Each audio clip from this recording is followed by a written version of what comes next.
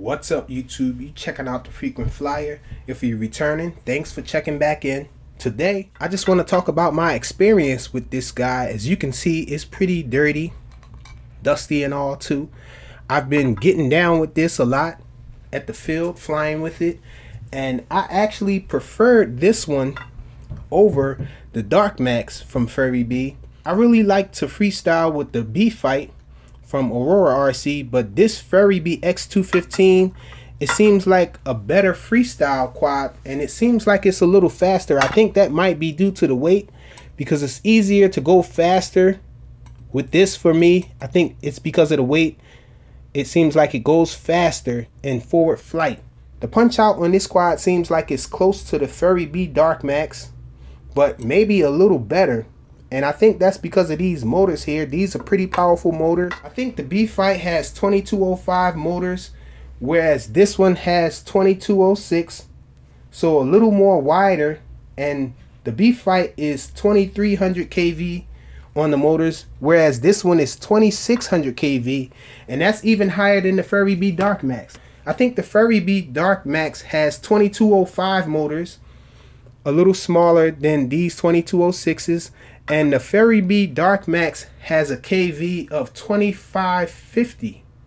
So this one slightly higher, but the Furibee Dark Max is capable of taking a 5 and 6S.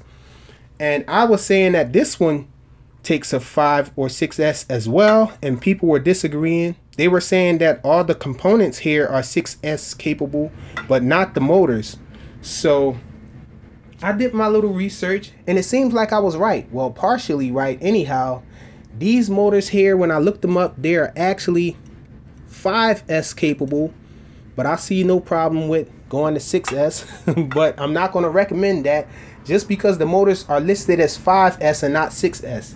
So this does take a 5S and from what I've seen, a 5S is all it really needs. For me, a 4S is all it really needs. It seems like the benefits were minimal jumping from 5S to 6S, but the jump from 4S to 5S is pretty substantial. So I think 5S is probably the way to go if you want it to be more powerful than 4S.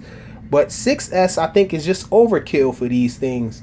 But this is a 5S capable quad. This has a flight controller in it from Holybro. I think it's called the Kakute. I don't know what the heck it's called. I know I'm massacring that name, but anyhow, the flight controller has a floating gyro on it. And so that is supposed to make this thing fly really smooth and stable. And mine's does, but I think when things touch it, when things are touching on top of it, between the flight controller and the VTX, that causes problems. I've heard of people having strong drifts to one side and all of that, but I didn't have any of those problems. But I think Furibee has taken notice because they did switch the flight controller. I've seen in the specs now that GearBest has listed a description that has a different FC in it now. It has a Furibee FC. So no more Kakute or the thing from Holybro or the FC from Holybro. It's out the door now, and I feel privileged to have one that still has it in it that flies well. This thing flies really nice. I prefer this over the Dark Max really because I don't know it seems like it's more control. It seems like it's more, it might be due to the weight, but I'm not sure, but it seems like this flies a little more stable and I'm able to control it a little better. So uh, really nice quad. It has all the bells and whistles that you need. This this camera here, I think they're saying that this camera is a CCD camera, but it's not.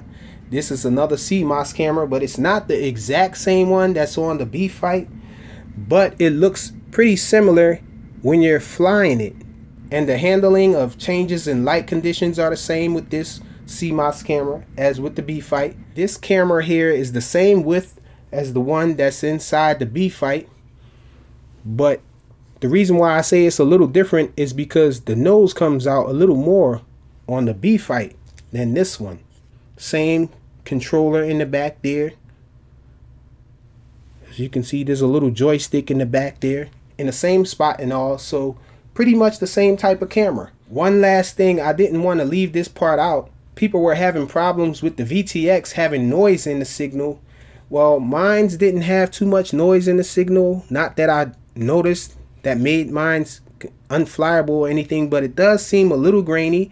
But I've heard that the shielding is missing from the VTX and it looks like it is missing. And I saw that someone used a sheet of aluminum foil and some tape to protect it from shorting and they put it in between the flight controller and the VTX and that shielding seemed to have helped it um, get rid of the grain and all in the video. I haven't tried mines yet.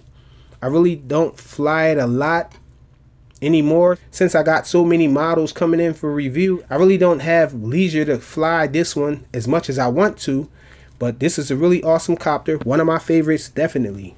The Furibee X215 Pro. Thanks for watching.